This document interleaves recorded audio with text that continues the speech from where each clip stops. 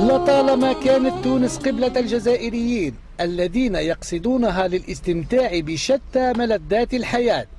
وبعد أن كانت الصورة هكذا في المراكز الحدودية فقد انقلبت اليوم رأسا على عقب وبدت شبه خاوية. بسبب تخوف الكثير من تكرار سيناريو عام 2011 حين اندلعت ثورة الياسمين وبقي الكثير منهم عالقا ولم يعد لأرض الوطن سوى بشق الأنفس.